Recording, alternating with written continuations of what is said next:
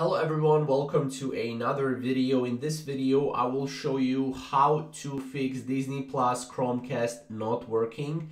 And yeah, basically how to fix it. Now there are a bunch of errors that happen on Chromecast and let's get right into it. So here are just some of the errors that are on the Disney Plus Help Center. As you can see, if you're not able to, uh, you know, play with Chromecast, uh, then you need to basically go and verify your Google Home app is installed on your mobile device. That's the first thing, right? The second thing is the Google Home app is available at iTunes Store and Google Play Store, so you can download it. Now make sure your Chromecast device is connected to your TV as well. And one uh, really, really important thing is that your Chromecast device and your streaming device need to both be connected to the same Wi-Fi network. Make sure you're using the latest device model, especially if you're trying to watch 4K content, because Chromecast will, you know, you need the same Chromecast that is newer version. So if you're trying to watch 4K content, ensure that your Chromecast device supports 4K playback as well.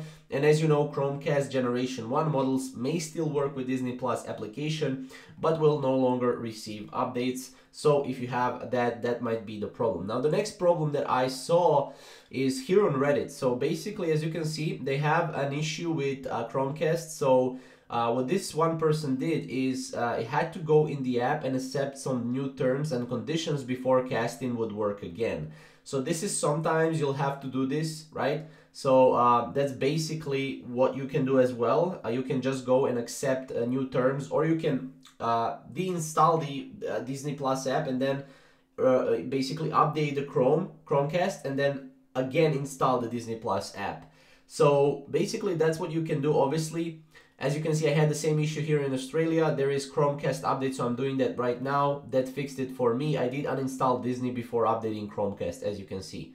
So these are a couple of things that you could potentially do to fix your Chromecast again. Um, if you have a specific problem, definitely comment down below, so I'll try to help you. Um, but yeah, thank you guys for watching and we'll see you in the next video.